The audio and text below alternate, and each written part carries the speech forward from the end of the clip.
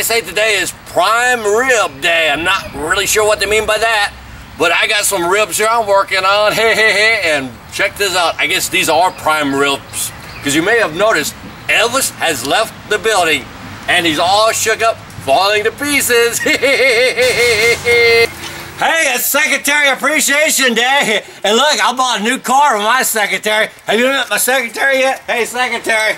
Uh, check out my secretary. Ain't she cute? Oh, she loves me so much, she gave me a shower. It's Morse Code Day. I'm not really sure what they mean by that because uh, Morris used to be a putty cat, and I know he had nine lives, but I didn't know he had his own code. Did you? oh yeah, that's right. It's also a tell a story day, so I'm gonna sit here and tell me a story about the time that Prince stopped here, and he, he came by and all his cars. And, uh,